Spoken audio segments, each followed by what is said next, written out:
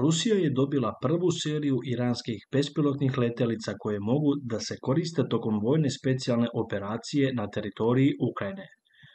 Kako navodi Washington Post, prilikom testiranja iranske opreme, ruska vojska je imala problema koji su izazvali nezadovoljstvo ruske vojske kvalitetom isporučenih dronova. Američka administracija tvrdi da bi Rusija ukupno trebalo da dobije stotine iranskih bespilotnih letelica raznih tipova, piše Komersant. Prema pisanju medija, Iran je Rusiji poslao najmanje dva tipa dronova. Pogodni su za udare na vojne ciljeve i gađanje radarskih sistema. Kako prenosi Washington Post, isporuke iranskih bespilotnih letelica Rusiji počele su 19. avgusta ruskim transportnim avionima a ranije je objavljeno da su ruski naučnici razvili sobstveni šok dron Lancet.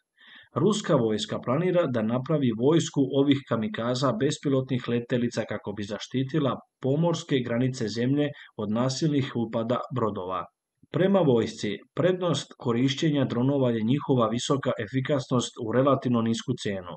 Proizvodnja i održavanje lebdećih granata znatno je jeftinije od upotrebe protivbrodskih projektila. Jedan mali dron može efikasno da onesposobi neprijateljski brod tako što će napasti njegove navigacione sisteme i učiniti ga potpuno bespomoćnim. Pri tome, vojska ne planira da se brine o dronovima koji su izvršili svoj zadatak.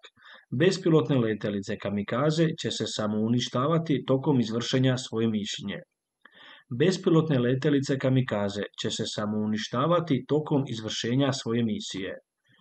Međutim, ukupan broj vojnih bespilotnih letelica prema američkim obaveštajnim podacima ruske vojske danas se prelazi 1500 do 2000 jedinica. Sjedinjene američke države smatraju da ruska vojska još nema dovoljan broj udarnih bespilotnih letelica neophodnih za izvođenje vojne operacije. Washington veruje da će iranski dronovi delimično popuniti prazninu u ruskoj vojnoj kampanji u Ukrajini. Ranije je saopšteno da su Sjedinjene američke države upozorile na mogućnost uvođenja novih sankcija Iranu i Ruskoj federaciji u slučaju potvrde isporuke iranskih borbenih dronova Rusiji.